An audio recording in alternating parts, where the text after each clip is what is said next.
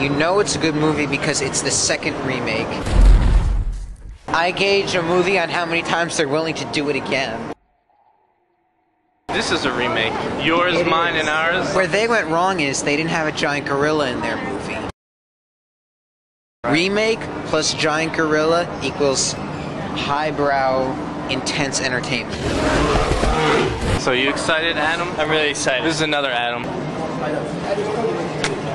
Coca-Cola offers a blogging service. What do people have to say in regards to Coke?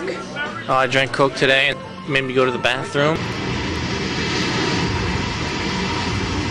Computers. Is this a Dentyne commercial? Gap? Oh. Please Come move on. this along. So what do you think, Adam? Um, delivered, I guess. I'm too tired to think.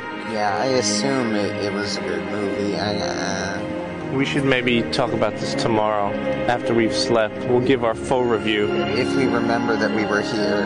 I did I did More, a lot more than I thought I would. Sometimes the title is better than the movie. Yeah. Like Harold and Kumar go to White Castle. Yeah. That was a horrible movie, but it's a really clever title. Just look at the poster and read the title, and that's all you need. I love the last Harry Oh, I thought you said you hated it. Oh no no no! I'm in King Kong. I thought it was Oh, alright. yeah. So just around this corner, Empire State Building right there. There